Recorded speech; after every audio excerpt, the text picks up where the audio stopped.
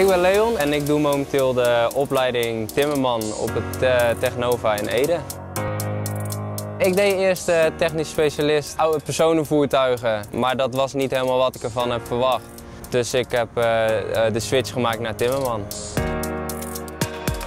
Het creatief zijn en uiteindelijk iets maken vanuit niets vind ik heel leuk.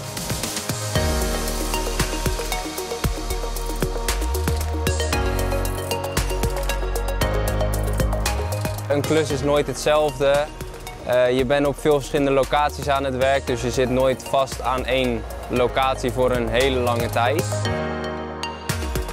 Het is veelzijdig werk. Ik doe uh, deuren afhangen, uh, binnen plafonnen uitvullen, gipsplaten er tegenaan, bekisting.